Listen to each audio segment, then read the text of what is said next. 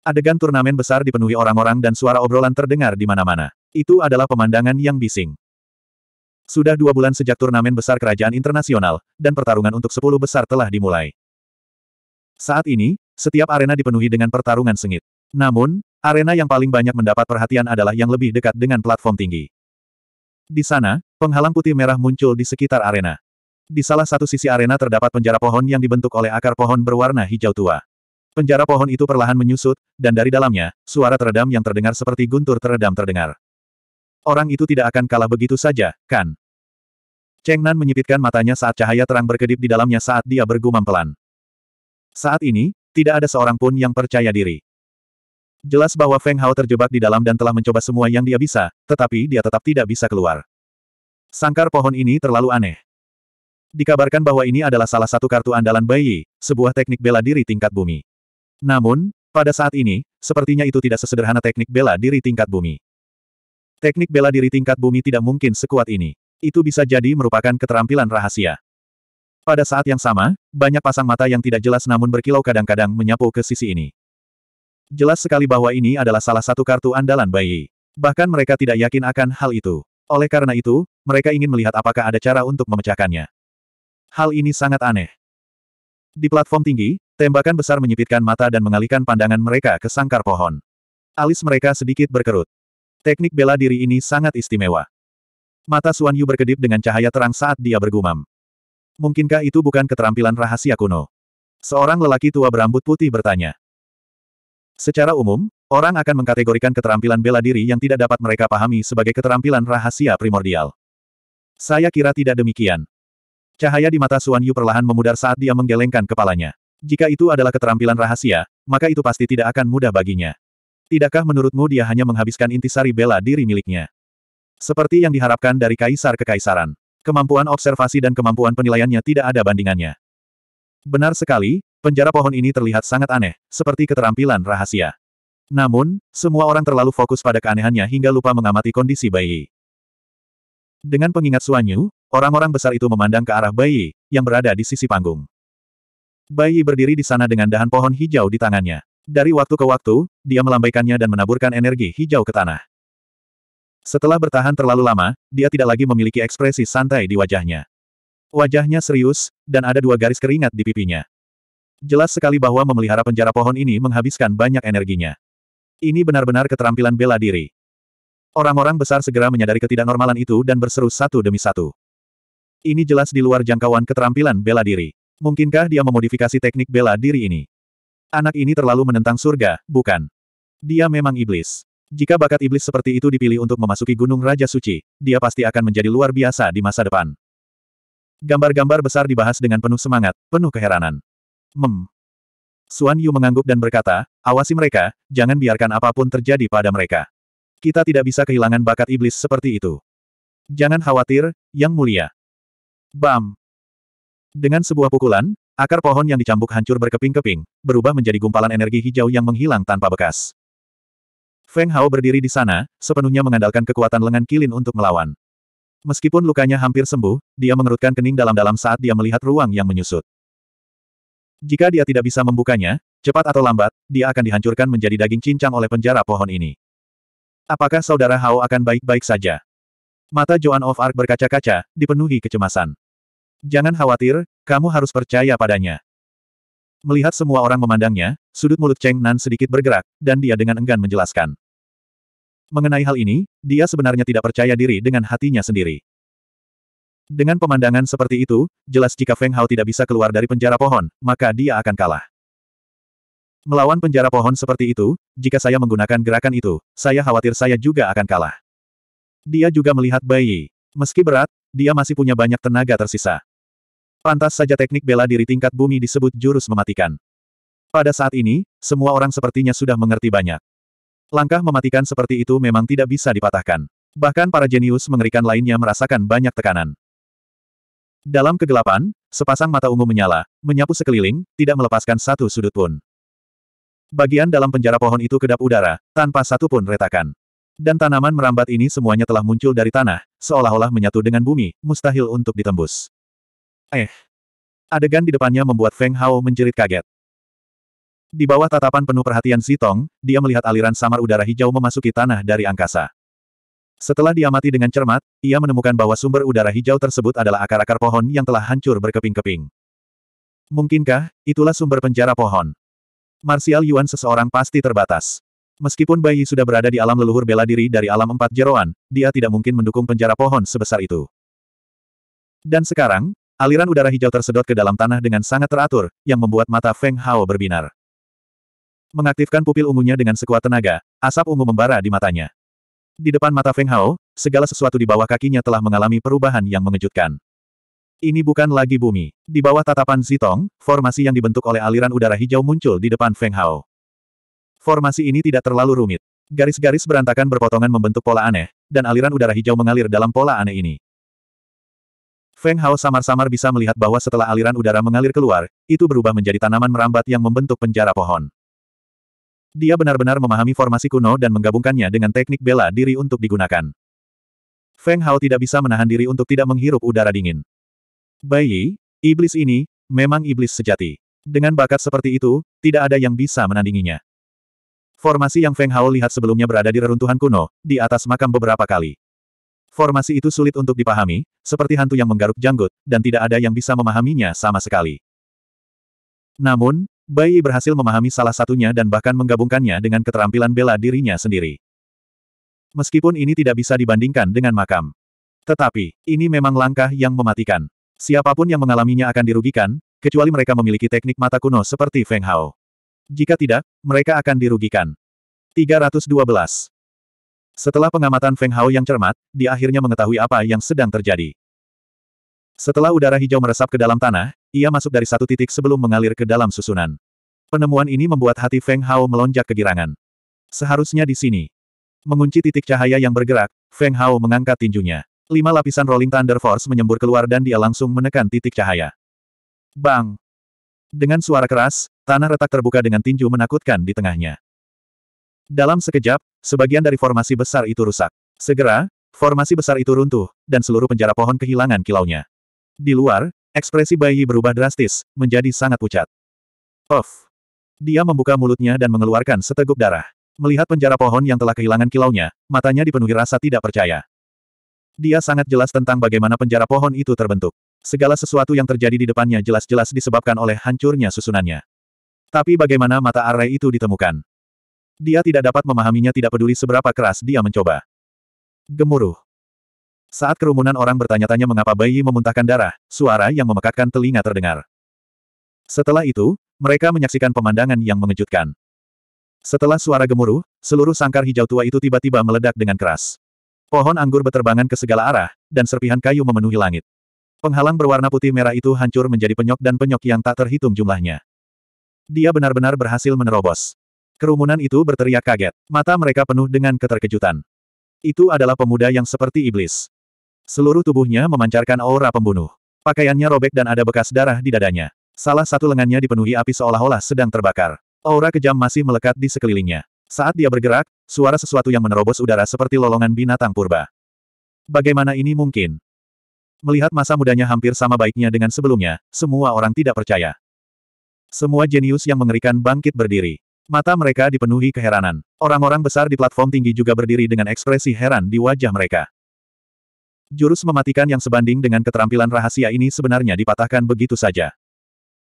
Tidak ada yang tahu bagaimana dia melakukannya, satu-satunya penjelasan adalah dia menemukan kelemahan dari gerakan mematikan ini.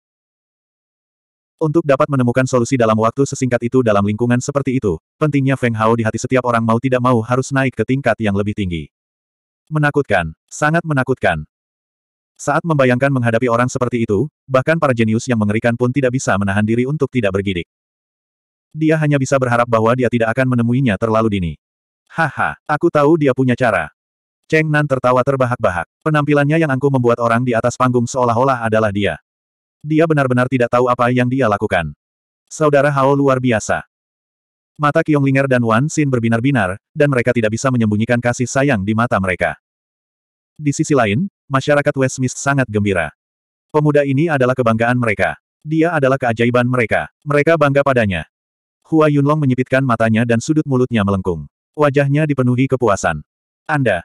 Sudut mulut bayi bergerak-gerak. Ketika dia melihat Feng Hao berjalan ke arahnya, wajahnya menjadi dingin dan dia mendengus. Huff, jangan terlalu terburu-buru. Serangan naga yang bangga. Setelah mengatakan itu, dia melambaikan dahan di tangannya lagi. Lampu hijau berkedip-kedip, dan seekor naga hijau meraung. Itu melonjak, mengayunkan tubuhnya, dan dengan kasar menyerang Feng Hao. Heh. Feng Hao mendengus. Dia menginjak tanah dan melompat. Lengan kilinnya dilalap api, dan dengan aura yang panas dan ganas, dia menghantam kepala naga hijau itu. Mengaum. Namun, naga hijau ini sepertinya tidak sebodoh itu. Ia benar-benar menghindari pukulan Feng Hao dan langsung menabrak dada Feng Hao. Bam, bam. Dua suara keras terdengar, dan Feng Hao terhuyung mundur. Dia hampir menderita kerugian besar. Untungnya, dia berhenti tepat waktu. Kalau tidak, jika dia tidak mati, dia akan setengah lumpuh dan kehilangan kemampuan bertarung. Melihat naga hijau yang masih bergoyang di dahan, mata Feng Hao menyipit. Hal ini sungguh tidak mudah untuk ditangani. Pada saat ini, Feng Hao sekali lagi merasa bahwa dia memiliki terlalu sedikit keterampilan seni bela diri. Dia hanya punya tiga kiri dan kanan, dan tidak banyak trik yang dia lakukan. Ambil contoh bayi ini, dia memiliki penjara pohon dan serangan naga bangga. Tidak ada yang bisa dia lakukan. Biarkan saja diekspos. Lagi pula itu sudah terekspos. Setelah menggumamkan beberapa kata, sudut mulutnya melengkung, dan ekspresi aneh muncul di wajahnya. Bam! Dia menginjak tanah lagi, dan tubuhnya melompat, menuju bayi lagi. Mengaum. Bayi melambaikan tangannya dan dahan pohon itu bergerak. Naga hijau itu bergerak sesuai keinginannya dan terbang menuju Feng Hao dengan gesit. Lebih dekat, lebih dekat. Sekarang. Domain gelap berat. Mengikuti pemikiran Feng Hao, riak misterius tiba-tiba muncul di ruang di atas tubuh bagian atas naga hijau. Dalam sekejap, seluruh naga hijau tidak lagi patuh, dan langsung jatuh ke tanah. Bam! Di bawah tatapan kaget bayi, Feng Hao menghancurkan kepala naga itu dengan satu kaki, mengangkat tinjunya, dan menyerbu ke arahnya lagi. Bagaimana ini mungkin? Bayi tidak tahu apa yang sedang terjadi, dan matanya terbuka lebar. Penjara pohon. Mendengar suara pecahnya udara, dia dengan tenang mengangkat dahan di tangannya lagi, dan dengan sapuan tangannya, tanaman merambat yang lebat menjulang dari tanah dan melilitnya. Bam! Sebuah pukulan mendarat tepat di penjara pohon, dan kekuatan besar meledak.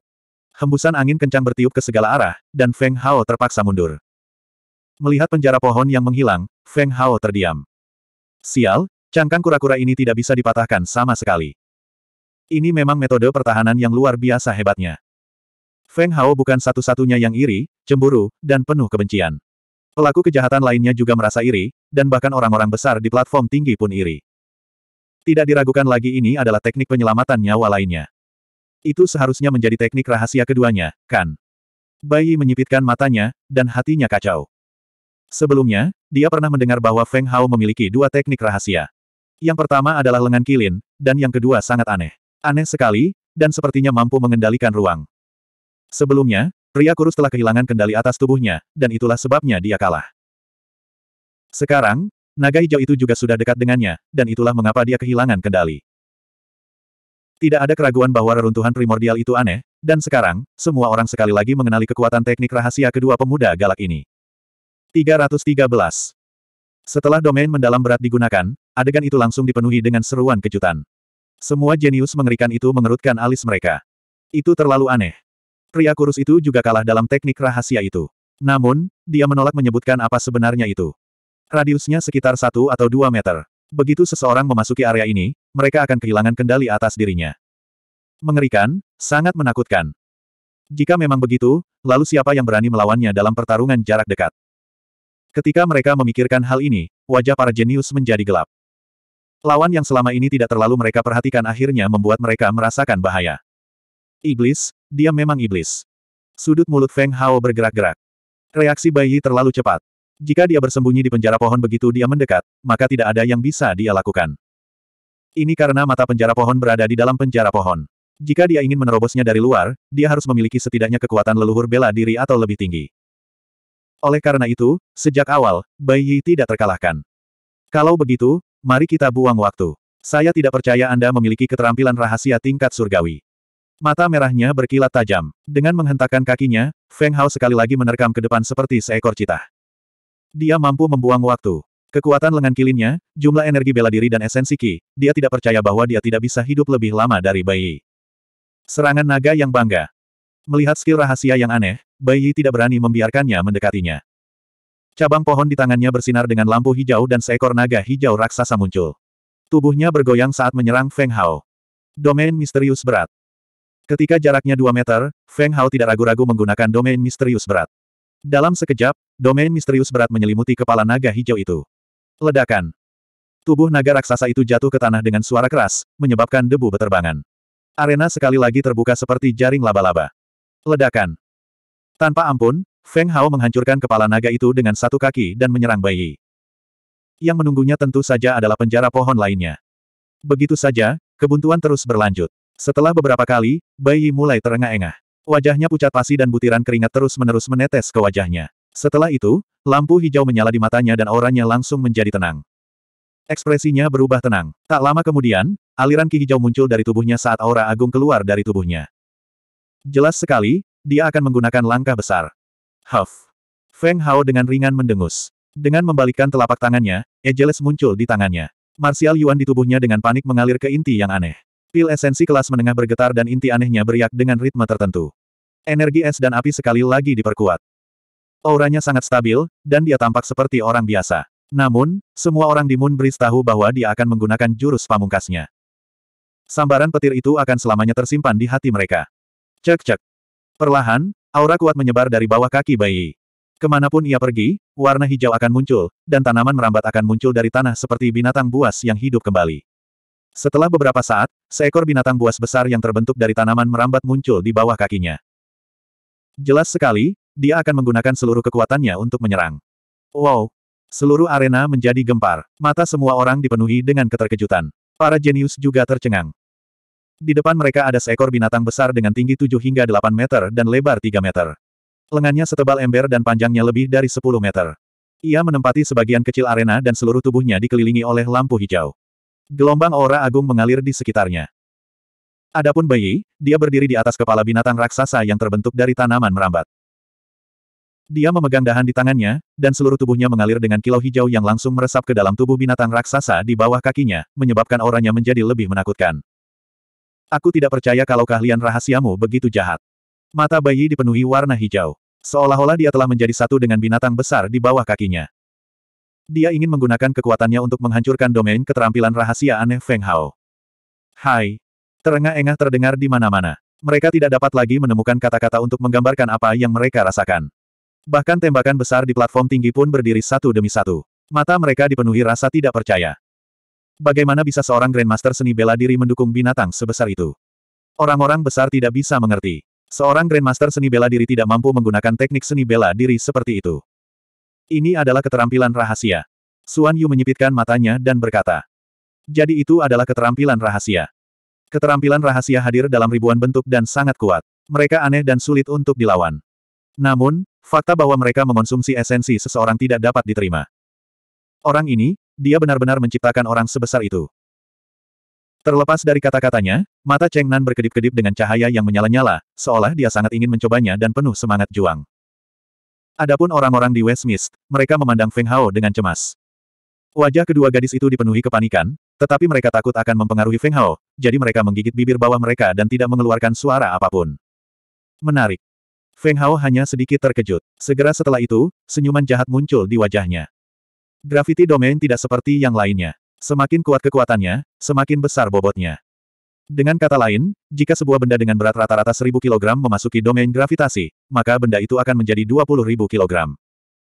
Peningkatan berat badan yang tiba-tiba ini sulit dikendalikan. Butuh beberapa waktu untuk menyesuaikan diri. Dalam pertarungan hidup dan mati, kesalahan sekecil apa pun bernilai ribuan mil. Tidak ada keraguan tentang kegunaannya. Itu berakibat fatal. Hehe. Sudut mulutnya melengkung dan pandangan dingin melintas di matanya. Dia mulai berlari menuju binatang besar itu. Huff. Bayi mendengus dingin. Sambil berpikir, binatang besar itu mengangkat lengannya yang seperti ember dan menghantamkannya ke kepala Feng Hao. Domain gelap berat. Tanpa ragu, Feng Hao pertama kali menggunakan Heavy Dark Domain. Dalam sekejap, dengan dia sebagai pusatnya, area dalam jarak 10 meter menjadi domain gravitasi. Bang! Ketika lengan binatang raksasa itu mendarat di tanah, ia lepas kendali dan mendarat dengan keras di tanah, menciptakan kawah besar di arena. Tebasan petir. Sebelum bayi sempat bereaksi, Feng Hao melompat tinggi ke udara dan mengangkat Ejeles. Dengan kilatan petir perak, dia menebas dada binatang besar itu. Suara mendesing. Seperti sambaran petir, cahaya putih melintas di cakrawala dan melintasi dada binatang itu, jatuh lurus ke bawah. Feng Hao setengah berlutut di kaki binatang itu, tak berujung, di tangannya tertanam dalam di arena. 314. Seluruh kekuatan petir yang mengejutkan terkonsentrasi pada ujung pedang tak berujung. Bisa dibayangkan betapa kuatnya itu. Serangan petir sebenarnya adalah kekuatan dari titik kental. Yang hadir semuanya adalah elit dari berbagai negara. Mereka secara alami dapat melihat seluk-beluk situasinya. Meskipun mereka tidak menghadapinya sendiri, mereka tetap mundur. Ilusi yang tak terhentikan muncul di hati mereka. Of. Bayi, yang berdiri di atas binatang raksasa itu, mengeluarkan seteguk darah. Matanya dipenuhi dengan keterkejutan, dan sedikit kengganan muncul di wajahnya. Meninggal dunia. Kemudian, dari dada binatang itu ke bawah, sebuah retakan muncul. Itu sangat rapi dan halus. Dalam sekejap, binatang raksasa itu, yang bersinar dengan cahaya hijau, meredup dan kehilangan semua kilaunya. Tidak ada lagi vitalitas yang tersisa. Gemuruh. Di tengah suara keras, binatang raksasa itu roboh. Cabang patah dan serpihan kayu beterbangan ke mana-mana. Binatang raksasa, yang dibentuk oleh kombinasi skill rahasia, dihancurkan dalam satu serangan. Mendesis. Melihat pemuda yang mengarahkan pisau aneh ke bayi, semua orang tidak bisa menahan diri untuk tidak terkesiap. Dikalahkan. Dikalahkan terlalu cepat, dan dikalahkan terlalu menyedihkan. Semua orang tahu bahwa itu adalah keterampilan rahasia kedua Feng Hao yang menunjukkan kekuatannya lagi. Serangan binatang raksasa itu jelas melampaui kekuatan lima organ seorang Grandmaster bela diri. Namun, ia masih tidak bisa lepas dari kendali skill rahasia anehnya. Itu adalah kekalahan telak. Semua orang merasakan hawa dingin di hati mereka. Mereka semua menebak-nebak skill rahasia macam apa itu. Huff. Di salah satu sudut, seseorang yang seluruh tubuhnya ditutupi jubah hitam sedikit mengangkat kepalanya. Di bawah jubah hitam, wajah pucat terlihat. Sepasang mata hitam pekat memiliki sedikit aura hitam yang melekat di atasnya. Setelah sekilas, dia mendengus pelan dan menundukkan kepalanya sekali lagi. Adapun beberapa orang yang dekat dengannya, mereka mendengar dengusannya yang menghina. Mereka hanya mengernyitkan mulut, tapi tidak berani membantahnya. Jelas sekali bahwa mereka sangat waspada terhadap orang berjubah hitam ini. Sulit dipercaya. Orang-orang besar itu duduk satu demi satu, wajah mereka dipenuhi dengan emosi. Sejujurnya, sejak awal, Feng Hao hanyalah seekor kuda hitam di hati mereka. Namun perlahan, kuda hitam itu menjadi monster. Baru saja, ketika bayi menggunakan penjara pohon, mereka hampir yakin bayi tidak akan kalah. Namun, bayi masih kalah. Saat mereka saling berpandangan, mereka bisa melihat keterkejutan di mata satu sama lain. Kamu kalah. Feng Hao berdiri di sana dengan ejeles di tangannya, mengarahkan ujung pisau ke tenggorokan bayi.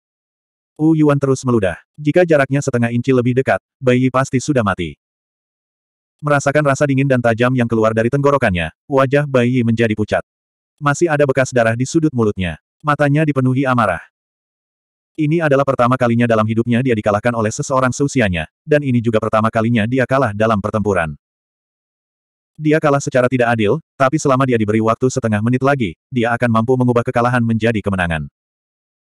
Ketika lengan binatang raksasa itu jatuh, dia akhirnya tahu apa keterampilan rahasia kedua Feng Hao. Itu tidak seseram manipulasi spasial. Hanya saja gravitasinya meningkat. Domain gravitasi telah membuatnya kehilangan inisiatif. Dia marah. Kamu tidak yakin. Feng Hao menyipitkan matanya dan berkata dengan dingin. Bayi tidak berbicara, tetapi kemarahan di matanya memberitahu Feng Hao bahwa dia tidak yakin.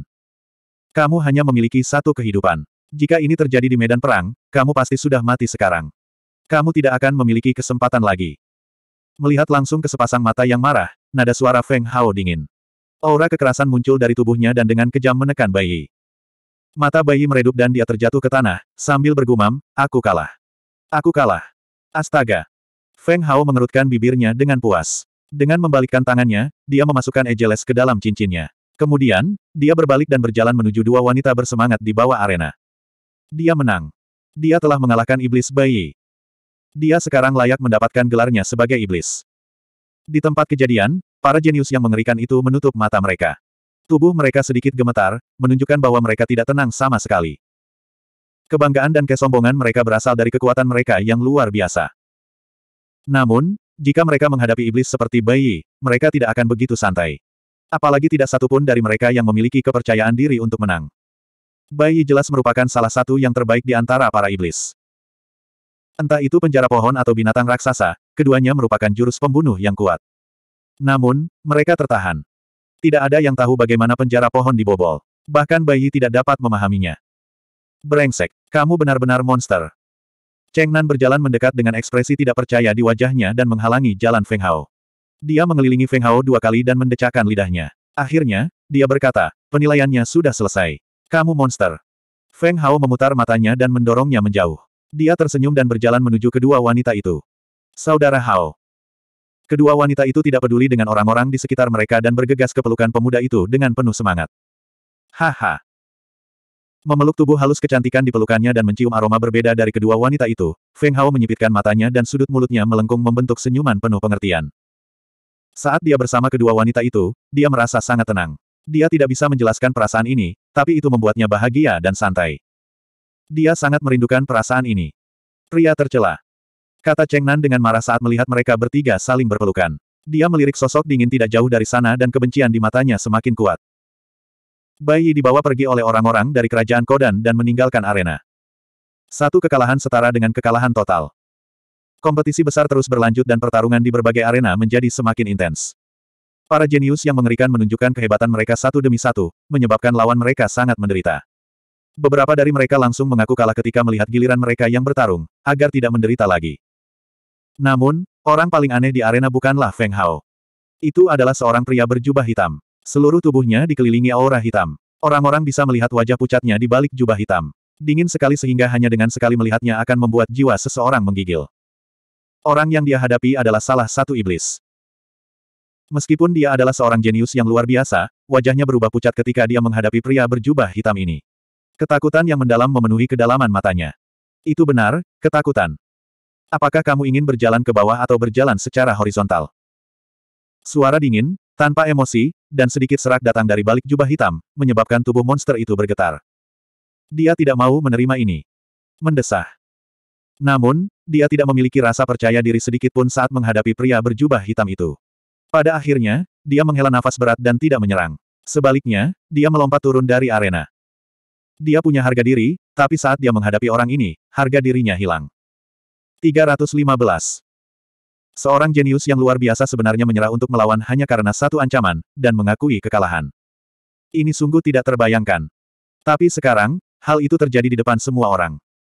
Tidak ada yang mau mempercayainya, tapi itu benar. Namun, ketika mereka melihat jubah hitam dan gas hitam yang tersisa, mereka merasa lega. Jelas sekali, mereka menyetujui pilihan monster itu. Di bawah jubah hitam, sudut wajah pucat itu melengkung menjadi lengkungan yang sangat jahat. Dia dengan dingin mendengus dua kali sebelum melompat dari panggung. Dia adalah iblis. Pemuda tak berguna yang membawa pertikaian berdarah cukup beruntung bisa melarikan diri. Bisa dibayangkan betapa putus asanya dia saat itu. Sebagai orang yang tidak berguna, bagaimana dia akan membalaskan dendam keluarganya. Kitab racun memberinya kehidupan baru. Dia menjadi ahli racun yang ditakuti dunia. Dalam sepuluh tahun, dia hampir memusnahkan beberapa keluarga itu dan membunuh beberapa ahli bela diri. Sejak saat itu, dia menjadi terkenal. Iblis itulah dia menyebut dirinya sendiri. Untuk bisa meracuni seorang ahli bela diri, ini sudah cukup untuk membuktikan bahwa dia setidaknya adalah seorang ahli racun tingkat bumi. Seorang ahli racun tingkat bumi. Bisa dibayangkan betapa menakutkannya hal ini. Kita harus tahu bahwa hanya ada dua apoteker tingkat bumi di seluruh dinasti logam penyesalan. Identitas mereka begitu tinggi dan perkasa. Jika mereka diracuni, mereka hanya bisa menunggu kematian. Bahkan para ahli bela diri tidak bisa melawan mereka, apalagi monster-monster ini. Oleh karena itu, mengakui kekalahan adalah hal yang wajar. Dia kalah secara tidak adil, tapi dia harus menerimanya. Saat ini, seluruh tempat sunyi. Jika ada ahli racun tingkat bumi, maka dia pasti akan menjadi juara. Saya tidak menyangka dia benar-benar datang. Pukulan besar di atas panggung juga sangat emosional. Jika dia berniat menyesali dinasti metal yang menyesal, ini adalah hal yang baik bagi kita. Sudut mulut Suan Yu sedikit melengkung saat dia berkata dengan lembut. Itu benar, ahli racun tingkat bumi juga merupakan pencegah dinasti sekitarnya. Orang-orang besar itu mengangguk satu demi satu, wajah mereka penuh kenyamanan. Sayangnya, terlalu sulit untuk mengendalikannya. Di masa depan, kecelakaan mungkin saja terjadi. Suan Yu menghela nafas pelan. Master racun tingkat bumi setara dengan bom waktu yang bisa meledak kapan saja. Jika tidak ada yang bisa membongkarnya, konsekuensinya akan sangat mengerikan. Yang mulia, Anda tidak perlu terlalu khawatir. Dengan adanya beberapa master, dia sendiri tidak akan bisa berbuat banyak. Terlebih lagi, Istana Kekaisaran telah mengirim orang untuk memusnahkan musuh-musuhnya. Saya yakin dia akan menjadi seperti itu. Bersyukur. Benar. Aku juga merasa meskipun, iblis ini memiliki kepribadian yang dingin, dia juga orang yang sangat berani dan setia. Kalau tidak, dia tidak akan mempertaruhkan nyawanya untuk membalaskan dendam keluarganya. Beberapa pukulan besar dijelaskan satu demi satu. Tampaknya mereka semua menaruh harapan besar pada iblis ini. Lagi pula, kartu truf seperti itu sulit didapat. Saudara Hao, mengapa mereka semua takut pada pria itu? Joan of Arc mendongak dan bertanya dengan suara manis. Hehe, karena dia adalah ahli racun. Feng Hao terkekeh dan menjelaskan. Tuan racun. Ketakutan dan keterkejutan muncul di mata kedua gadis itu. Keburukan para ahli racun telah lama menyebar ke seluruh benua. Tidak ada yang berani meremehkan ahli racun. Jika tidak ada apoteker di benua ini, maka benua tersebut akan menjadi dunia ahli racun. Mungkinkah dia benar-benar menjadi master racun tingkat bumi? Setelah beberapa saat, Wan Xin bertanya dengan heran. Itu benar. Jumlah ahli bela diri yang mati di tangannya dapat dihitung dengan satu tangan. Cheng Nan menyela dari samping. Dia juga tidak berdaya melawan iblis ini. Jika mereka bertemu dengannya, tidak diragukan lagi itu sama saja dengan tersingkir. Dia ternyata adalah ahli racun tingkat bumi. Orang-orang di Westmist tidak bisa menahan nafas dingin. Master racun tingkat bumi hanya bisa dilawan oleh apoteker tingkat bumi. Jika itu sedikit lebih istimewa, maka akan sulit untuk mengatakannya. Yun Ying, sebaliknya, melirik Feng Hao dan tidak mengatakan apa-apa. Hua Yunlong, yang berada di samping, memiliki senyuman seperti bunga krisan di wajahnya. Seorang master racun tingkat bumi berakibat fatal bagi orang lain, tetapi bagi pemuda di depannya ini, dia kebetulan adalah musuh bebuyutannya. Hehe. Mendengar bahwa dia adalah master racun tingkat bumi, kedua gadis itu tidak khawatir sama sekali.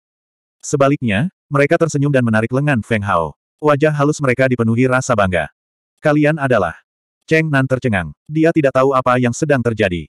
Ketika dia melihat ketidakpedulian di wajah Feng Hao, jantungnya berdetak kencang. Sebuah pemikiran mengejutkan muncul di benaknya. Mungkinkah itu kamu?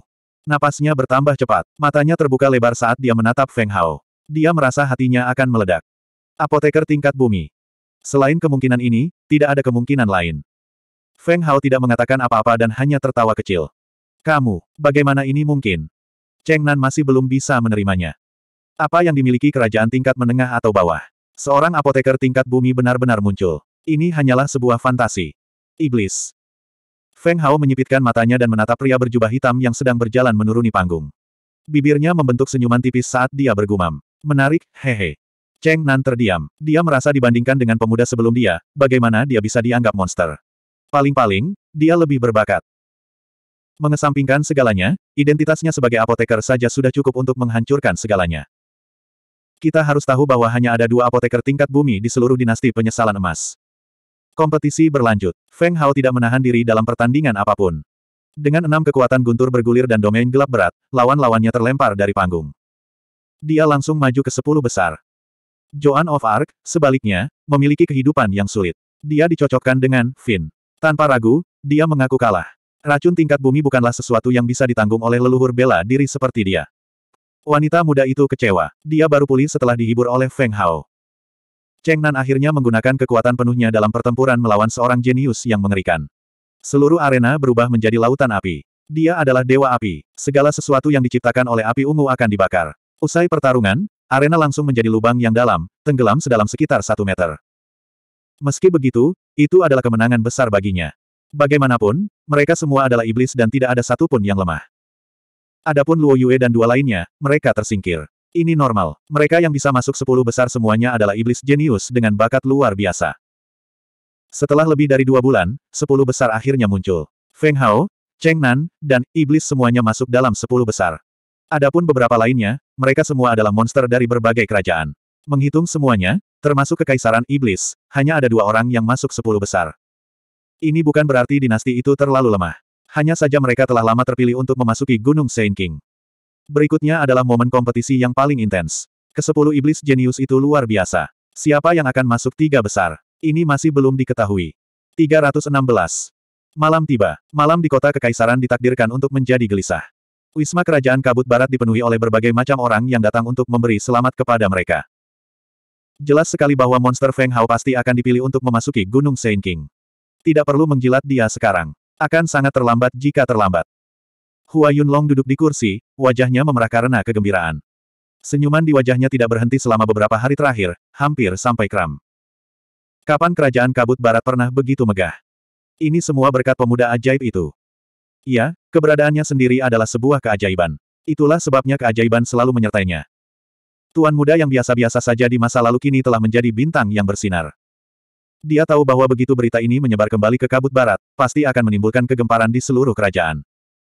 Baru pada larut malam para bangsawan bubar satu persatu. Langit berbintang bagaikan cermin bundar yang tergantung terbalik di langit. Jelas dan dalam, sangat misterius. Cahaya bulan perak menyinari, membungkus dunia dengan lapisan perak yang indah. Di bawah pohon kecil, tiga sosok sedang meringkuk. Saudara Hao, maukah kamu mendapat tempat pertama? Joan of Arc memegang bola kecil di tangannya, mengangkat kepalanya dan bertanya dengan lembut. Ini, mungkin, hehe. Feng Hao membelai rambut lembut gadis itu dan berkata sambil tersenyum. Itu berarti saudara Hao akan dipilih untuk memasuki Gunung Saint King. Ekspresi rumit melintas di wajah cantik Wan Xin saat dia bertanya dengan suara sedikit muram. Hem. Feng Hao tercengang. Dia segera menyadari bahwa di kedalaman mata kedua gadis itu, ada sedikit kesedihan dan kekecewaan. Apa yang salah? Tidak ada apa-apa. Kedua gadis itu memalingkan muka, tidak membiarkan Feng Hao melihat kesedihan di mata mereka. Emosi mereka sangat rumit saat ini. Di satu sisi, mereka ingin melihat Feng Hao menang. Namun, jika dia menang, dia pasti akan terpilih untuk memasuki Gunung Saint King. Kalau begitu, mereka harus berpisah lagi. Ini adalah sesuatu yang tidak mereka inginkan.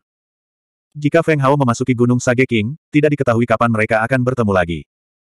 Feng Hao tertegun sejenak sebelum dia mengerti apa yang sedang terjadi. Dia tidak tahu apakah harus tertawa atau menangis ketika dia bertanya, kalian berdua bodoh, tidakkah kalian senang karena akulah juaranya? Tidak. Kedua wanita itu menggelengkan kepala berulang kali, tampak sangat cemas, seolah-olah mereka takut Feng Hao akan salah paham. Hehe. Feng Hao mengulurkan jarinya dan mengetuk dahi mereka masing-masing sebelum berkata, kita tidak akan dipisahkan. Jangan khawatir. Dia penuh percaya diri saat berbicara.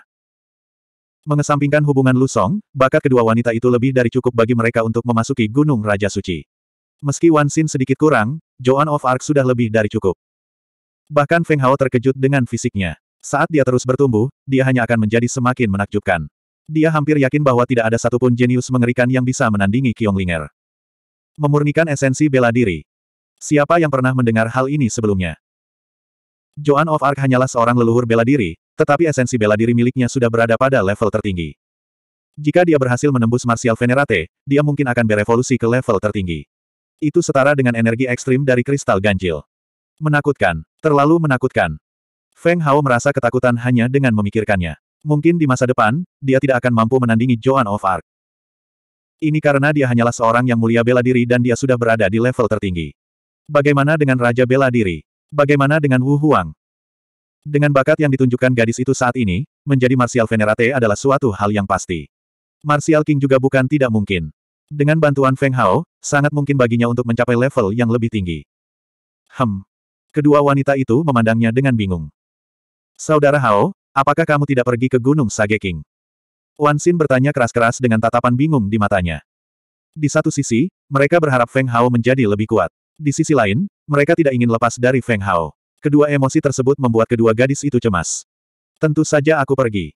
Feng Hao meringkuk di sudut mulutnya dan mengangkat alisnya. Wajahnya penuh ejekan. Jadi begitu. Kedua gadis itu menyeret suara mereka dan menundukkan kepala. Kalian berdua idiot. Mengangkat tangannya, Feng Hao mengetuk mereka masing-masing dan berkata, aku akan pergi ke Gunung Sage King. Apakah kamu tidak ikut denganku? Ini. Kedua gadis itu memandangnya dengan bingung. Kemudian, Wan Xin berkata dengan heran, mungkinkah saudara Hao punya cara untuk membawa kita ke Gunung Sage King secara diam-diam? Bodoh.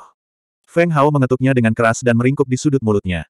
Dia berkata, mengapa kita harus melakukannya secara diam-diam? Tidak bisakah kita melakukannya secara terbuka? Tetapi, tidak, tapi, jangan khawatir. Kamu akan pergi ke Gunung Sage King bersamaku. Feng Hao melambaikan tangannya dan menyelam mereka dengan percaya diri. Apa arti apoteker tingkat surga bagi sebuah dinasti? Feng Hao percaya bahwa selama dia memintanya, Lu Song pasti akan menyelesaikan masalah kecil ini. Belum lagi kedua gadis itu berbakat, meskipun mereka biasa-biasa saja, sepatah kata pun dari Lu Song akan membawa mereka masuk. Ini sudah pasti. Saudara Hao luar biasa. Dengan jaminan Feng Hao, Kedua gadis itu tersenyum seperti bunga dan langsung melemparkan diri ke pelukannya, terus-menerus memutar. Mencium aroma yang datang dari kedua gadis itu dan merasakan dua tubuh lembut berputar dalam pelukannya, api jahat perlahan muncul dari perut bagian bawah Feng Hao. Dalam sekejap, bola api berkobar di dalam hatinya, seolah hendak meledak. Desis. Petik 2. Feng Hao menghirup udara dingin. Namun, rasa panas di dadanya tak kunjung hilang. Sebaliknya, sesuatu di perut bagian bawahnya diam-diam membengkak. Eh, saat berguling, Joan of Arc merasakan sesuatu menopangnya. Dia menjerit pelan karena terkejut dan meraihnya. Apa ini? Kakak Hao, kenapa kamu? Ah. Sepertinya memikirkan sesuatu, gadis itu tersipu dan melepaskannya. Dia membuang bola kecil di tangannya dan menutupi wajahnya dengan kedua tangannya, tidak berani menatap siapa pun. Eh. Wajah Feng Hao penuh rasa malu. Dia tersenyum malu-malu dan menguap. Itu, cahaya bulan malam ini sungguh indah, haha. Situasi canggung tidak pecah. Kedua gadis itu berdiri dan berpegangan tangan saat mereka berlari menuju kamar, meninggalkan Feng Hao yang duduk di sana sendirian dengan ekspresi wajah yang sangat tertekan. Dia memanggil atribut es untuk menurunkan suhu tubuhnya. Ketika sesuatu di tubuhnya menjadi tenang, dia berdiri. Ayo pergi. Menatap lelaki kecil seukuran palu itu, dia berjalan ke kamar. Itu adalah malam yang tenang. Hari berikutnya adalah hari terakhir kompetisi semua bangsa. Hari ini, tiga teratas akan dipilih. Besok, mereka akan memasuki Gunung Saint King. Pada hari ini, seluruh kota kekaisaran mendidih karena kegembiraan. Tempat kompetisi semua negara tidak hanya penuh dengan orang, tetapi juga banyak sosok yang melayang di langit, menutupi seluruh langit dengan lapisan kegelapan. Sepuluh besar telah dipilih. Mereka berdiri di arena pertama di bawah platform tinggi, menghadap ke platform tinggi. Tidak lama kemudian, Suan Yu memimpin sekelompok pemain besar ke platform tinggi. 317. Setelah Suan Yu naik ke atas panggung, penonton perlahan-lahan menjadi tenang. Saat mengamati kerumunan, Pandangannya tertuju pada sepuluh orang di atas panggung. Dia mengangguk tanpa ada yang menyadarinya, dan sudut mulutnya membentuk senyuman puas. Ada banyak orang jenius yang luar biasa, tapi kali ini jumlahnya banyak. Di antara sepuluh, setengahnya adalah orang jenius yang luar biasa, dan setengahnya lagi memiliki bakat luar biasa. Mereka semua telah melewati alam jeroan kedua leluhur bela diri. Yang memiliki budidaya terendah masih Feng Hao. Dia hanya berada di alam roh bela diri, tetapi tidak ada yang merasa tidak pantas baginya untuk berdiri di sana. Selanjutnya, mari kita sambut utusan suci dari Gunung Raja Suci. Suara jelas Suan Yu menyebar ke seluruh tempat. Meski suaranya tidak terlalu keras, namun terdengar di setiap sudut tempat. Begitu dia selesai berbicara, kerumunan itu melihat seorang lelaki tua pucat turun dari langit, mendarat di samping Suan Yu. Orang tua itu berpakaian putih. Rambutnya putih, janggutnya putih, dan seluruh tubuhnya putih dari ujung kepala sampai ujung kaki. Tubuhnya memancarkan sinar putih dan menyilaukan, membuat orang sulit melihat wajahnya dengan jelas, karena agak buram. Dia mengangguk pada Suan Yu dan tidak menyapanya. Lalu, dia duduk. Suan Yu tidak merasa itu tidak pantas sama sekali. Kultivasi yang mengerikan. Sekilas saja, Feng Hao merasakan jantungnya bergetar. Bahkan jika orang tua ini hanya seorang martial venerate, dia bukanlah seorang martial venerate biasa. Selanjutnya, kami mengundang utusan suci dari Kerajaan Es yang menyesal, Kerajaan Merah yang menyesal, dan Kerajaan Awan yang menyesal. Kemudian, Penonton melihat tiga lelaki tua mendarat di panggung tinggi, masing-masing bersama seorang pemuda. Suan Yu merasa sangat tersanjung karena semua utusan suci ada di sini. Suan Yu menangkupkan tangannya ke arah ketiga lelaki tua itu dengan senyuman di wajahnya. Tidak sama sekali, Kaisar Logam yang menyesal itu terlalu sopan. Setelah berbasa-basi, ketiga lelaki tua itu duduk begitu saja, dan para pemuda yang mereka bawa berdiri di belakang mereka. Ketiga pemuda ini merupakan juara dari kerajaannya masing-masing di kompetisi akbar internasional. Jelas sekali mereka ada di sini untuk pamer. Ini sebenarnya sebuah tradisi. Hanya saja tahun ini giliran dinasti emas. Tatapan ketiga lelaki tua dan tiga pemuda itu langsung tertuju pada sepuluh orang di atas panggung. Setelah menyapu, pandangan mereka berhenti pada tubuh Feng Hao. Seorang pemuda yang hanya berada di alam martial spirit tingkat menengah benar-benar berhasil masuk sepuluh besar. Keraguan tanpa sadar muncul di hati mereka. Cek-cek, jadi ini sepuluh elit teratas di negaramu. Saint Envoy Regretful Cloud adalah seorang lelaki tua berkumis. Dia mendecakkan lidahnya dan kata-katanya penuh dengan ejekan, menyebabkan wajah Suan Yu menjadi gelap. Apa maksudmu? Utusan suci emas yang menyesal membuka matanya dan memiringkan kepalanya untuk melihatnya. Kata-katanya sama sekali tidak sopan. Keempat dinasti besar itu terhubung, jadi bisa dibayangkan hubungan di antara mereka. Apalagi yang bisa kumaksud? Hehe. Dia menyipitkan matanya dan menunjuk ke arah Feng Hao. Dia berkata dengan nada main-main, seorang pria di alam roh bela diri tingkat menengah dapat mencapai sepuluh besar. Cek, cek, negaramu benar-benar tidak sederhana. Haha. Jangan berkata begitu, mungkin pemuda ini tidak biasa. Terkadang dia beruntung dan terus menghadapi lawan yang lemah. Bukan masalah besar untuk masuk sepuluh besar. Kedua utusan suci, penyesalan merah dan penyesalan es, juga berkata. Mereka tidak bisa melepaskan kesempatan seperti itu. Menurut pendapat mereka, tidak peduli seberapa kuatnya roh bela diri, seberapa kuatkah dia. Utusan suci emas yang menyesal tidak bisa membantah dan mendengus. Dia melirik Feng Hao dan mengerutkan kening. Dia memiringkan kepalanya dan menatap Suan Yu, yang berada di sebelahnya. Namun, dia melihat wajah Suan Yu tenang seolah tidak terjadi apa-apa. Tiga utusan biksu. Suan Yu memandang ketiga pemuda di belakang mereka dan berkata, sepuluh orang ini dipilih dari 63.572 orang. Apakah menurut Anda Anda dapat mencapai langkah ini dengan mengandalkan keberuntungan? Oh. Beberapa dari mereka melirik beberapa kali lagi tetapi tetap tidak menemukan sesuatu yang aneh. Mereka tidak dapat memahami bagaimana seorang pemuda yang hanya berada di alam roh bela diri tingkat menengah dan tidak memiliki atribut dapat menonjol di antara lebih dari 60 ribu orang. Walaupun Saint Emissary Regretful Gold merasa bingung dengan penjelasan Suan Yu, dia tidak mengatakan apa pun. Namun, dia masih memiliki keraguan di hatinya. Negaramu punya banyak orang jenius. Tidak mudah bagi jiwa bela diri untuk mencapai tahap ini. Cloud penyesal utusan suci mencibir. Tentu saja, saya yakin dia tidak kalah dengan siapa pun di angkatan yang sama. Suan Yu membalas tanpa ragu-ragu. Kekuatan Feng Hao terlihat jelas. Jika bukan karena insiden, iblis, dia bahkan berpikir bahwa juara akan dimenangkan oleh pemuda yang hanya berada di alam jiwa bela diri ini. Meski konyol, hal itu sangat mungkin terjadi. Lagi pula, bahkan monster seperti Bai Yi pun dikalahkan olehnya. Apalagi yang tidak bisa dia lakukan. Of. Ketiga utusan suci tertawa terbahak-bahak. Mereka tertawa bahagia seolah baru saja mendengar lelucon paling lucu di dunia. Kaisar Emas yang menyesal, Anda lupa menambahkan beberapa kata. Saint Emissary Regretful Cloud mengelus kumisnya dan memicingkan matanya. Kamu harus mengatakan bahwa dia berada di kelompok yang sama dengan dinasti emas penyesalanmu. Haha, petik 2. Ketiga utusan suci kembali tertawa terbahak-bahak. Bahkan ketiga pemuda di belakang mereka memperlihatkan senyuman lucu. Tidak ada keraguan tentang bakat mereka. Jika tidak, mereka tidak akan mampu menjadi juara di antara puluhan ribu orang. Pada saat ini, wajah Saint Emissary Regretful Gold pucat pasi. Dia membuka mulutnya beberapa kali tetapi tidak bisa berkata apa-apa. Dia menatap Suan Yu dengan ragu lagi dan melihat bahwa Suan Yu memiliki senyuman penuh arti di wajahnya. Dalam sekejap, jantungnya berdetak kencang. Mungkinkah memang ada sesuatu yang tidak biasa pada pemuda ini? Utusan suci emas yang menyesal sedikit menyipitkan matanya dan memandang sepuluh orang itu dengan cermat. Dia menyadari bahwa sembilan orang lainnya tidak memandang pemuda ini dengan jijik. Sebaliknya, beberapa pemuda yang tampak luar biasa memandang pemuda ini dengan sedikit kewaspadaan dan kekhawatiran. Apa yang sebenarnya terjadi? Melihat lebih dekat, sebagian besar penonton menunjuk ke arah pemuda dan pria berjubah hitam ini. Mereka tidak mengejek mereka. Dari tatapan mata dan ekspresi emosional mereka yang membara, jantung Saint Emissary Regretful Gold berdebar kencang. Jelas sekali, pemuda ini pasti memiliki performa yang luar biasa sebelum ini. Melihat Suan Yu dan tokoh besar lainnya, mereka semua memiliki senyuman aneh di wajah mereka. Seolah-olah, mereka menertawakan ketidaktahuan ketiga utusan suci. Pada titik ini, dia akhirnya bisa merilekskan hatinya yang tegang. Dia percaya bahwa pemuda ini jelas bukan orang biasa. Faktanya, dia sangat luar biasa. Saat dia memikirkannya, dia sedikit bersemangat. Dia ingin melihat apa yang luar biasa dari pemuda ini dan apa yang diandalkan untuk melawan para jenius ini.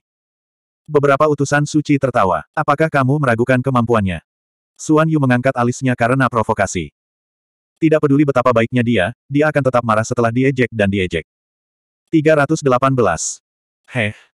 Ketiga utusan ilahi itu mengerutkan bibir mereka dengan jijik. Mereka tidak percaya bahwa roh bela diri dapat menjungkir balikan langit. Kaisar penyesalan Jin, jangan marah. Utusan ilahi penyesalan Cloud menggelengkan kumisnya dan berkata dengan nada mengejek yang jelas di wajahnya, saya tahu bahwa kemampuan pemuda ini memang luar biasa di negara Anda. Kami dapat memahami hal ini. Lagi pula, dia sudah menjadi roh bela diri tingkat menengah pada tingkat seperti itu. Usia muda, sudah sangat bagus, bukan? Haha, tidak buruk. Ini sudah sangat bagus. Ah iya, selamat untuk negaramu karena memiliki kejeniusan yang tiada taranya.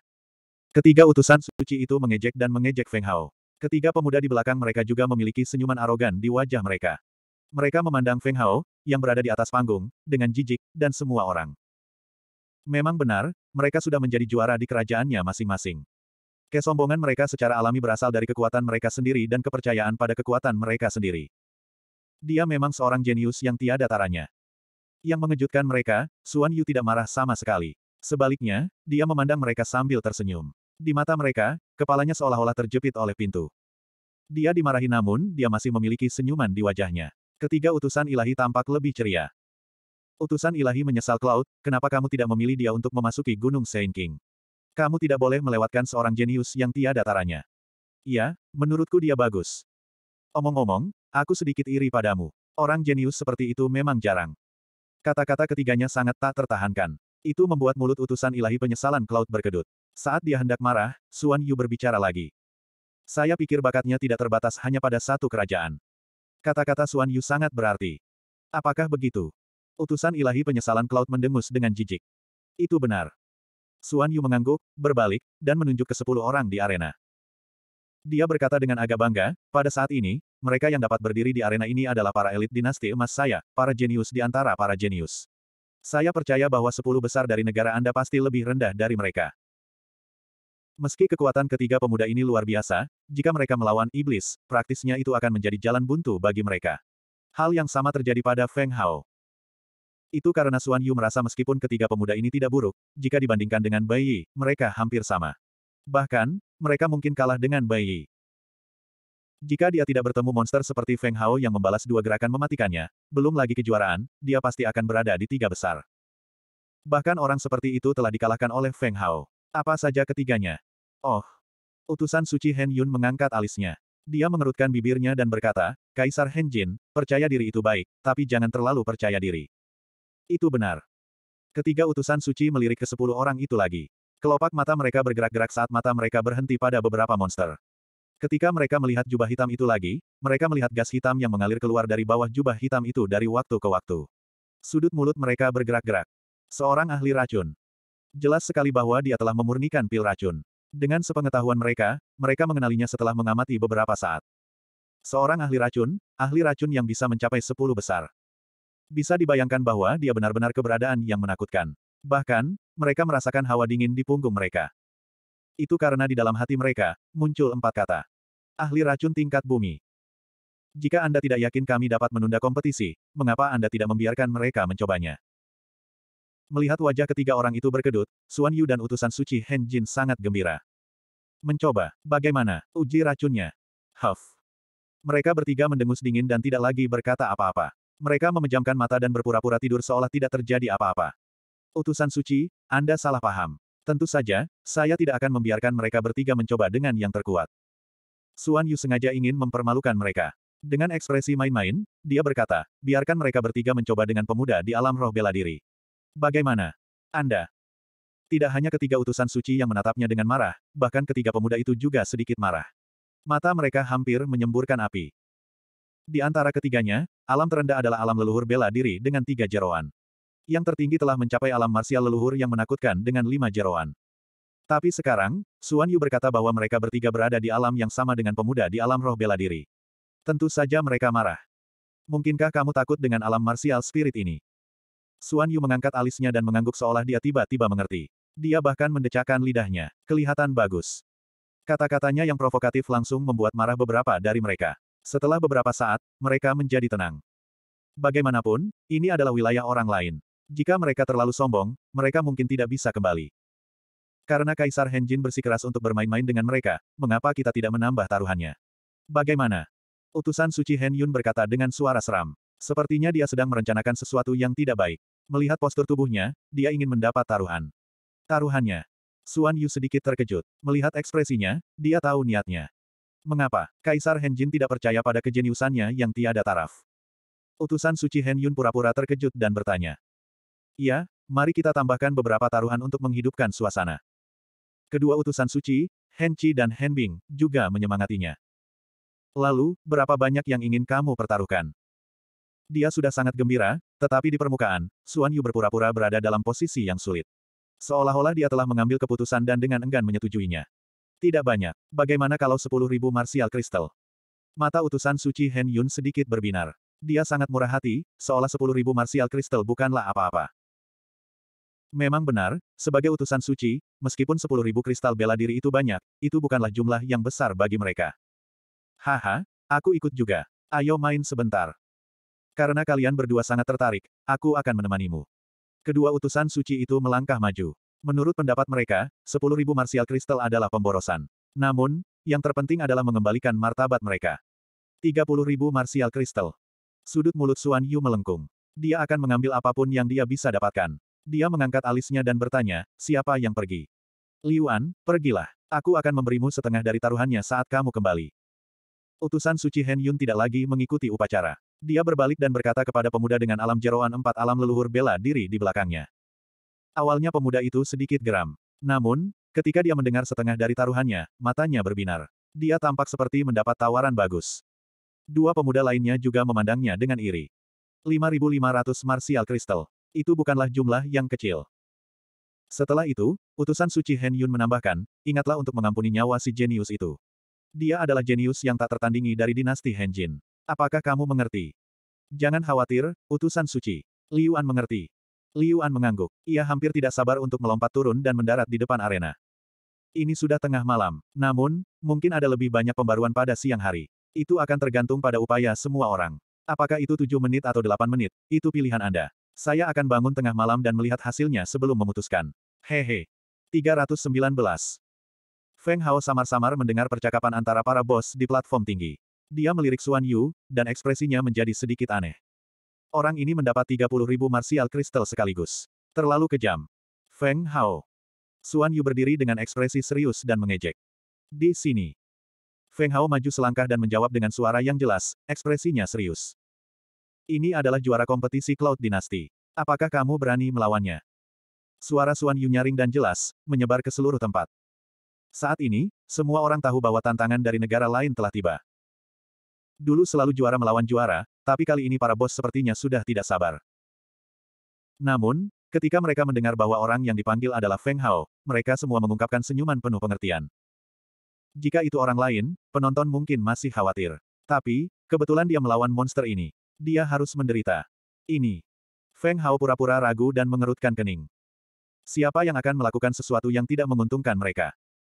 Jika kamu menang, aku akan menghadiahimu sepuluh ribu kristal bela diri. Wajah Suan Yu berkedut, dan dia memelototinya. Dia tahu anak ini pasti mendengar percakapan itu. Wow! Seketika, seluruh tempat menjadi gempar. Semua orang berseru kaget. Sepuluh ribu kristal bela diri. Bagi mereka, itu adalah angka yang tidak terbayangkan. Kita harus tahu bahwa bahkan juara kompetisi hanya bisa mendapatkan seribu kristal bela diri. Bukankah ini memberikan martial crystals? Semua orang bingung, tapi karena Suan Yu sudah mengatakannya, dia pasti akan memenuhinya. Itu sudah pasti. Akibatnya, sepasang tatapan takjub yang tak terhitung jumlahnya mendarat di Feng Hao. Anak ini sangat beruntung. Orang-orang di Westmist sangat terkejut. Wajah kedua gadis itu seperti bunga, dan mata mereka menyipit karena tersenyum. Cek-cek, kali ini mereka mendapat penghasilan besar. Cheng Nan berdiri di sana, matanya merah karena iri. Dia bergumam dengan marah, kenapa bukan aku? Sial, anak ini selalu mendapat semua barang bagus. Sejak dia bertemu Feng Hao, keunggulan sebelumnya telah hilang tanpa jejak. Dia menemukan bahwa tidak peduli bagaimana mereka membandingkannya, pemuda ini lebih kuat darinya. Ini memang membuat monster seperti dia merasa sangat tertekan. Kenapa aku tidak berani? Sudut mulut Feng Hao melengkung tanpa terasa. Dia berbicara dengan rasa kebenaran yang kuat, seolah-olah dia adalah seorang pejuang yang tidak akan pernah kembali. Itu sangat khusyuk dan menggugah.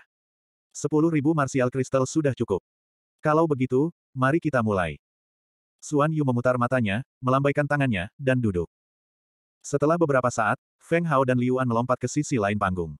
Dengan lambaian tangannya, panggung itu diisolasi oleh lapisan energi putih merah.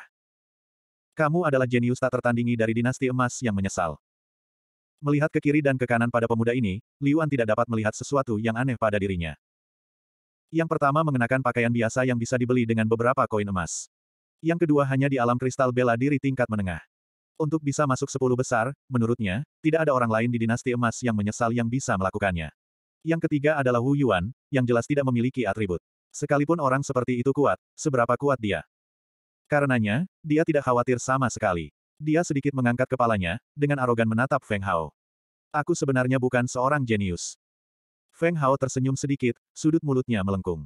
Saya hanya beruntung. Puff. Liu An langsung mencibir. Ketiga utusan Sein yang berada di platform tinggi juga memasang senyum aneh di wajah mereka, sambil melirik ke arah utusan emas yang menyesal itu dari waktu ke waktu. Semangat bela diri yang mengandalkan keberuntungan untuk masuk sepuluh besar adalah bukti yang cukup bahwa kekuatan kebanyakan orang terlalu lemah. Kalau tidak, hal seperti itu tidak akan terjadi. Aku pikir juga begitu. Liu An memandang Feng Hao dengan mengejek, sudut mulutnya melengkung bangga. Namun, keberuntunganmu berakhir di sini. Orang itu tidak ada harapan. Melihat senyuman di wajah Feng Hao, Cheng Nan menamparkan keningnya, seolah hatinya sakit. Sepuluh ribu kristal bela diri. Jangan khawatir, aku akan menyelamatkan nyawamu. Saat dia berbicara, aura di sekitar tubuh Liu An mulai naik perlahan. Matanya juga berubah warna menjadi kuning, dan gelombang aneh menyebar dari telapak kakinya. Setelah beberapa saat, arena di bawah kakinya mulai sedikit bergelombang, seolah-olah itu adalah gelombang. Atribut bumi. Melihat Liu An memiliki kemampuan seperti itu, ekspresi Feng Hao berubah serius. Dia bisa merasakan bahwa Liuan ini tidak lebih lemah dari Bai Yi. Kalau tidak, dia tidak akan mampu memenangkan kejuaraan di dinasti awan penyesalan. Desir. Sambil berpikir, lengan kirinya dengan cepat mulai membengkak, langsung keluar dari pakaiannya. Potongan otot menonjol dengan keras, dan pembuluh darah melilitnya seperti akar pohon. Selanjutnya, lengannya menjadi merah padam, seperti arang terbakar. Kulitnya mulai terbelah, namun anehnya, tidak ada darah yang keluar. Sebaliknya berubah menjadi sisik ikan. Gemuruh. Hanya dengan sedikit gerakan, suara gemuruh terdengar dari angkasa. Riak tak kasat mata yang terlihat dengan mata telanjang sepertinya menandakan bahwa ruang tersebut tidak mampu menahan keberadaan lengan ini. Begitu lengan kilin muncul, Liuan langsung tercengang, dan aura di tubuhnya terhenti. Bagaimana ini mungkin? Matanya terbuka lebar, seolah dia melihat hantu. Dia tidak bisa membayangkan bagaimana lengan sebesar itu bisa tumbuh di tubuh seorang pemuda. Sisik yang memantulkan cahaya merah iblis membuat hatinya bergetar. Dia merasa terancam oleh lengan ini. Bagaimana ini mungkin? Suara yang sama terdengar di platform tinggi. Termasuk utusan suci penyesalan emas, murid dari empat utusan dan dua juara tiba-tiba melebar. Mata mereka dipenuhi rasa tidak percaya. Jelas sekali, mereka tidak bisa menerima adanya perubahan aneh ini. Haha. Kali ini giliran Suan Yu yang bangga. Dia menyipitkan matanya sedikit, melihat sepasang mata bulat di sekelilingnya. Hatinya sangat nyaman, dan perasaan cemberutnya hilang tanpa bekas. Di sisi lain, para petinggi juga saling memandang dan tersenyum. Faktanya, saat pertama kali melihatnya, keadaan mereka tidak jauh lebih baik. Bahkan sekarang, ketika mereka melihat lengan kilin, mereka masih takjub. Namun, ketika mereka melihat wajah arogan itu berubah menjadi keheranan, mereka semua merasa senang. Berbicara berdasarkan fakta adalah serangan balik yang paling kuat. Fiuh. Utusan suci penyesalan emas menarik napas dalam-dalam dan melirik ke arah Suan Yu, yang tersenyum di sampingnya. Keraguan di hatinya lenyap. Jadi begitu. Kekuatan semacam itu telah melampaui level martial spirit. Jika itu digabungkan dengan keterampilan bela diri tingkat tinggi. Memikirkan hal ini, matanya tidak bisa tidak menjadi cerah. Sepertinya dia mendapat banyak hal kali ini. Demikian pula, wajah ketiga utusan, Regretful Red, Regretful Cloud, dan Regretful Eyes, juga menjadi gelap. Mereka tahu bahwa pemuda ini mungkin adalah anomali terbesar di arena ini. 320. Pada saat yang sama, ketiga utusan suci memahami mengapa Suan Yu langsung menyetujuinya. Jelas sekali bahwa pemuda ini pasti pernah tampil luar biasa sebelumnya. Kalau tidak, dia tidak akan begitu percaya diri. Sudut mulut mereka bergerak-gerak ketika memikirkan bagaimana mereka kehilangan 10.000 kristal bela diri begitu saja. Sungguh menyakitkan. Huff. Meski begitu, dia hanyalah martial spirit. Seberapa kuat dia? Utusan suci Hen Yun mendengus, tapi jelas dia tidak cukup percaya diri. Itu karena dia menyadari bahwa dia tidak dapat melihat lengan apa itu bahkan dengan basis budidayanya. Kekuatan agung yang tersembunyi itu membuat hatinya bergetar. Martial Spirit, itu lebih dari cukup untuk menghadapi anak itu. Ekspresi utusan suci penyesalan emas juga menjadi rileks saat dia berbicara dengan nada provokatif. Huff, kita lihat saja. Utusan suci Hen Yun mendengus dan menyipitkan matanya. Dia memusatkan pandangannya pada kedua sosok itu dan berteriak, Liuan, jika kamu mengalahkannya, aku akan menghadiahimu sepuluh ribu kristal bela diri. Suaranya nyaring dan jelas, dan menyebar ke seluruh tempat. Pada saat yang sama, hal itu mengejutkan Liuan. Fiuh. Dia menghela napas dan ekspresinya dengan cepat menjadi tenang. Matanya tenang, dan cahaya kuning menyala lagi. Ekspresinya langsung menjadi dingin. Tentu saja, dia tidak mengandalkan bakatnya untuk mencapai tahap ini. Jika dia tidak cukup pintar, dia tidak akan mencapai banyak hal. Bah-bah. Bersamaan dengan serangkaian ledakan, tanah di bawah kakinya melonjak dan melilit tubuhnya. Setelah beberapa saat, dia berdiri di sana seperti titan. Kakinya seperti tangki air, dan tangannya seperti ember. Tingginya 4 hingga 5 meter, dan aura agung menyapu, membuat semua orang merasa seperti tercekik. Itu terlalu menakutkan. Seolah-olah dia bisa menembus langit dengan lambaian tangannya dan menenggelamkan tanah dengan hentakan. Memang benar dia layak menjadi juara. Hah, sangat sengit. Kelopak mata Cheng Nan tidak bisa menahan diri untuk tidak bergerak-gerak saat melihat raksasa ini. Ekspresinya menjadi serius. Hehe. Utusan suci menyesal Cloud tertawa bangga ketika dia melihat ekspresi beku di wajah Suan Yu dan yang lainnya. Aku sudah mengatakannya sebelumnya. Meskipun anak itu aneh, dia bukan siapa-siapa di hadapan kekuatan absolut. Benar-benar. Utusan suci Kijin meliriknya tetapi tidak mengatakan apa pun. Lagi pula, penampilan kedua orang di atas panggung itu sangat berbeda. Bahkan Suan Yu tidak percaya diri. Aku ingin tahu apakah skill rahasia orang itu efektif. Suan Yu bergumam pada dirinya sendiri dan sedikit mengernyit. Seharusnya tidak ada masalah, kan? Dia sudah bertanya pada Bai Yi tentang hal itu dan memahami bahwa keterampilan rahasia kedua Feng Hao adalah domain gravitasi. Keterampilan rahasia semacam ini memang mustahil untuk dilawan, tapi hanya ada satu kesempatan. Pada saat pengguna terbiasa, gravity domain tidak lagi berguna. Hehe. Melihat raksasa ini, Feng Hao menyeringai. Apakah orang ini datang untuk mati? Saat dia memikirkannya, martial yuan di tubuhnya mulai bergerak. Gelombang demi gelombang kekuatan berkumpul dengan panik di lengan kilin, menyebabkan ruang di sekitarnya mengeluarkan suara yang teredam. Gemuruh. Liu An mulai berlari. Setiap langkah yang diambilnya menyebabkan tanah bergetar. Seluruh arena sedikit bergetar. Benar-benar pemandangan yang menakutkan untuk disaksikan. Gemuruh. Saat dia meninju, suara gemuruh terdengar di udara. Tinju seukuran bak mandi langsung menghantam Feng Hao. Aku akan menghabisimu dalam satu serangan. Setelah memadatkan enam lapisan Rolling Thunder Force, mata Feng Hao bersinar dengan tajam. Dia menginjakkan kakinya ke tanah, meninggalkan celah di tanah. Dia meminjam kekuatan untuk melompat tinggi. Ketika dia sudah dekat, dia berseru, domain misterius berat. Begitu dia mengatakan itu, raksasa di atas panggung tiba-tiba tenggelam. Kedua kakinya langsung tenggelam ke dalam panggung. Tinju guntur bergulir. Setelah menghindari pukulan yang kehilangan sasarannya, Feng Hao tidak ragu sedikit pun, dan langsung meninju dada raksasa itu. Bang!